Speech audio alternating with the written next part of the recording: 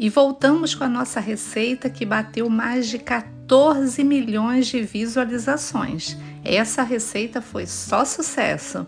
Então, merece ser compartilhada novamente. Eu cozinhei as batatas na água e sal, depois levei as batatas para o liquidificador. Enquanto isso, eu cozinhei alguns ovos e acrescentei também no liquidificador duas caixinhas de creme de leite, mussarela e tempero verde a gosto.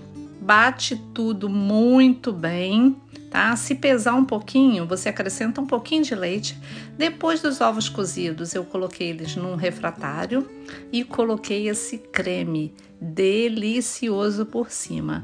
Alguns falam que é escondidinho de ovo. E qual nome você daria para essa receita de milhões? Aí depois de colocar o creme ali por cima dos ovos cozidos, vamos acrescentar também bastante queijo ralado. Eu estou utilizando queijo parmesão porque no liquidificador eu utilizei a mussarela. Depois batata palha, leva no forno para gratinar e olha que maravilha de receita! Com um arrozinho e uma salada não tem nada melhor. Então, curta!